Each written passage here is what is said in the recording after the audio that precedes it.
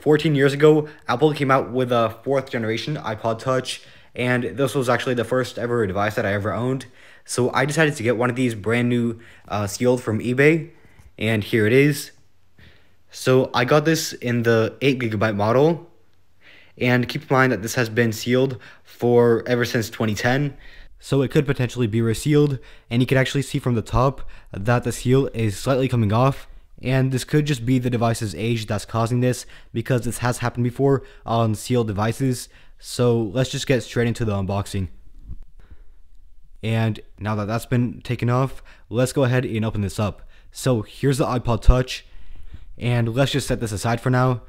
And we're going to take a look at the accessories first. And here's the old style earbuds, which Apple no longer makes. And there's a 30 pin cable. Um, there's supposed to be Apple stickers in here. I'm not sure where they are. And there's no other accessories either. So let's now take a look at the iPod Touch. So we're going to start by removing the seal.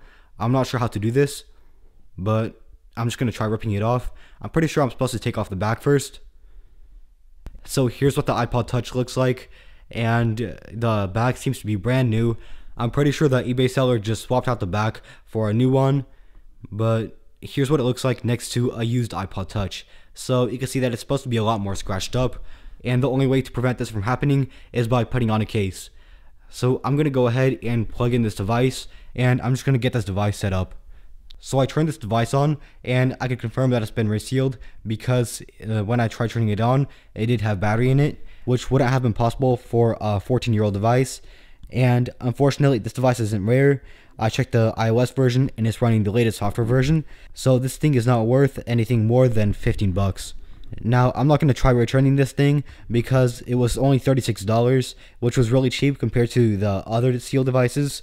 Now, I did buy a large number of different devices off of eBay, and with my experience, I do not recommend buying sealed devices off of there because it is very likely that it's been resealed, especially if it's an old device like the one that I have here. However, there's nothing wrong with refurbished or used devices off of eBay. Now, that is it for this video. I hope you all enjoyed the unboxing, and if you did, be sure to like, subscribe, and check out my channel to see more videos like this in the future.